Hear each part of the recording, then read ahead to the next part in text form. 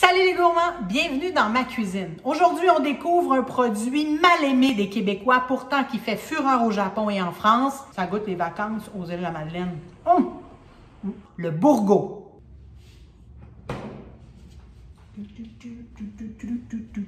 C'est ça ici le bourgot. Et que c'est pas vraiment beau non plus. Regarde. Il y a une chair un peu euh, tachetée noire. Mais quand on dit qu'on mange avec les yeux, c'est peut-être pas la plus belle chose à manger. On retrouve les bourgots sur la Côte-Nord, en Gaspésie, aux îles de la Madeleine. Je suis pas une fan de bourgots. J'ai jamais vraiment eu une belle expérience avec les bourgots. J'ai souvent mangé des choses qui sont beaucoup trop caoutchouteuses, qui ont été macérées dans du vinaigre pendant beaucoup trop longtemps. Puis je sais pas pour vous autres, mais manger quelque chose qui a une texture caoutchouteuse, j'ai pas vraiment de plaisir. Moi, je me suis rendue chez mon poissonnier préféré juste ici à Québec, dans le quartier Montcalm, et c'est là que j'ai trouvé toute l'information nécessaire pour m'assurer d'avoir le meilleur bourgot possible dans mon assiette. Oui, madame. Les bourgots ici, la poissonnerie Poisson d'Or. C'est assez rare de trouver des bourgots qui ont d'abord été congelés avant d'être saumurés. C'est lui ici. Ça, pour moi, c'est nouveau et c'est cette méthode-ci qui m'a fait tomber en amour avec le bourgot. Hum.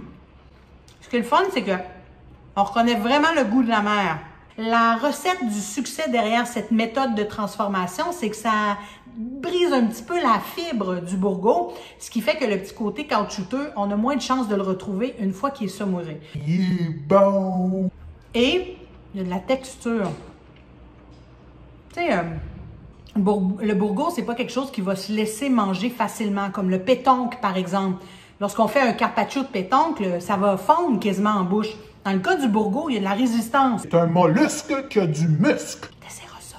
Je dis bourgot depuis tantôt, mais on appelle ça aussi le bigorneau. Et mais le nom scientifique du bourgot, c'est le buxin commun. Ça, c'est propre à notre garde-manger à nous. Et c'est ça qui est important, de mettre nos vrais produits frais au cœur de notre assiette et de cette façon découvrir notre identité culinaire à nous, les Québécois. Hey! Santé les gourmands! Hum.